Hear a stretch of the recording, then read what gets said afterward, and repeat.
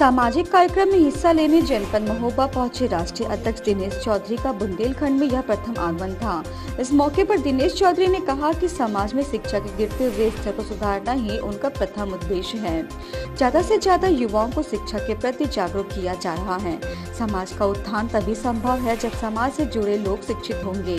आपको बता दें कि दिनेश चौधरी रजत समाज के राष्ट्रीय अध्यक्ष के साथ ही जौनपुर सीट से वर्तमान विधायक भी हैं। पहली बार बुंदेलखंड में आया हूँ और इस पवित्र धरती को सबसे पहले मैं प्रणाम करता हूँ। बहुत अच्छा लगा। किस कार्यक्रम के अंतर्गत बुंदेली धरा में सर आपका आना प्रस्तावित हुआ? देखिए मैं राष्ट्रीय रजक महासंघ भारत का राष्ट्रीय अध्यक्ष हूँ। हम लोग जो संगठन बनाए हैं पूरे देश में भ्रमण करके सबको जोड़ने का काम कर रहे हैं। कि हम सब एक हैं और एक साथ रहिए।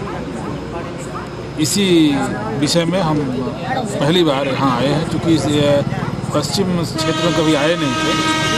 और आना भी चाह रहा था, इसलिए आए हैं। कल हमारा कार्यक्रम है यहाँ पे ग्यारह बजे से, और काफ़ी लोग मिलेंगे।